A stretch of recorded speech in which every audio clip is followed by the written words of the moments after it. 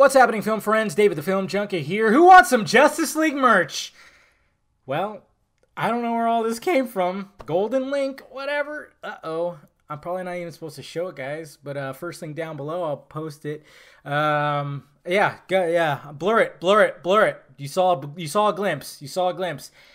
Hey, some things are touchy here, man. When it comes to merchandise of certain big movies, yeah, I've been dinged before. So I gave you a little glimpse. Hopefully they don't do uh i don't know but there's a lot of good stuff first thing down below guys go to the site i'll have these images on the site um all kinds of goodies cups hats popcorn buckets and shit like that. It's basically stuff you're gonna get in the movie theater that looks really, really cool. It's got everybody, even Superman. It's got Superman, not in the black costume. Of course not. Why would he be in the black costume? I'm not gonna show that. If that, hmm. yeah.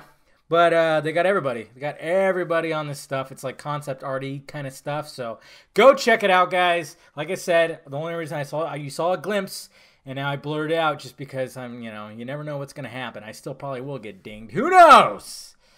Anyways, guys, yeah, first thing down below, go to my site, check out the images that uh, that have been all of a sudden just leaking out like crazy. I don't know what the heck.